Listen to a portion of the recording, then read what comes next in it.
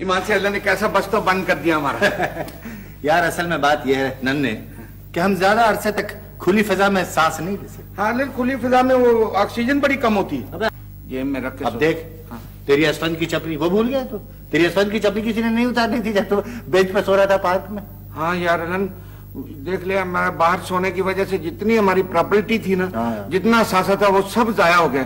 अगर तू ये मुझे सीढ़ियों से उठा के ना देता ये इसको ये हर वक्त तू क्या बताता फिरता कि सूर्य से उठा करके दिया? उसको भूल जा। वो हमारा माजी था। अच्छा। अपने माजी को भूल जाते हैं। हाँ। शुक्र कर यार कि वो मनहूस और गैर महफूज ज़िंदगी हम बहुत पीछे छोड़ करके चले आए। अब हम यहाँ आराम से रहेंगे और इंशाल्लाह सुखी रहेंगे। हाँ अलन बिल्कुल ठीक कह रहा तू। अब हम हर रोज किराया अदा किया करेंगे और बिल्कुल बेफिक्र हो जाएँगे। क्या क्या? हर रोज किराया अदा हर रोज? हर रोज हाँ बाकायदगी से।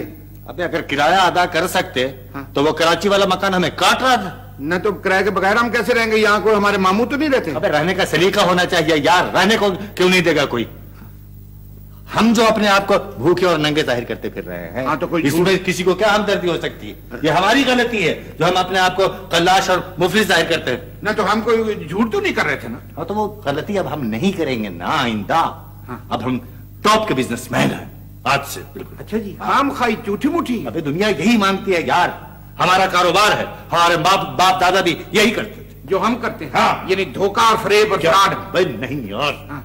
बिज़नेस कारोबार। अच्छा। हाँ हम दुनिया का बड़ा से बड़ा झूठ बोलेंगे कि हमारा दुनिया के तमाम बड़े बड़े बैंकों में अकाउंट है। अच्छा धोखे और फरेब का अकाउंट है? यार धोखे और फरेब से ही दुनिया मरूब होती है तो हम क्या करें बताओ?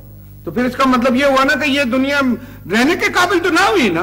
ओ यार दुनिया रहने के काबिल हो ना हो इससे कोई बात नहीं है। बात यह है कि ये घर तो रहने के काबिल है ना। हाँ ये तो और इसमें रहने के लिए सबसे पहली शर्त यह है कि तुमको खुद को शादीशुदा ज़ाहिर करना पड़ेगा। क्यों? यार इसलिए कि ये मालिक मकान या पड़ोसी जो कुछ भी है हाँ। माशरे में हाँ। ये तुमसे ज़्यादा तुम्हारे बाल बच्चों में इंटरेस्टेड होते हैं। अच्छा हाँ। तो फिर ये बाल बच्चे कहाँ से आएँगे? आएँगे नहीं यार वो वहाँ बहावलपुर में पड़े हैं। हाँ वो जहाँ तुम्हारा ससुराल है। वो वो यहाँ नहीं आएँगे? नहीं यहाँ नहीं आएँगे। तुम अपने बच्चों से मिलने के लिए बहावलपुर चले जाया करोगे।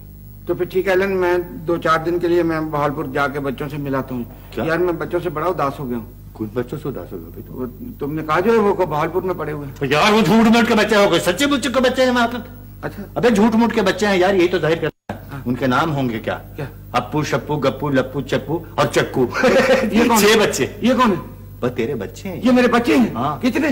भाई छह यार। नहीं नहीं अनंत बच्चे कम कर। क्यों, क्यों? वो फैमिली प्लानिंग वाले का दिल टूट जाएगा। उन्होंने करोड़ों रुपया लगाया इस बात पे। नहीं नहीं अब बच्चे कम नहीं हो सकते। जो तय हो गए वो हो गए। हाँ?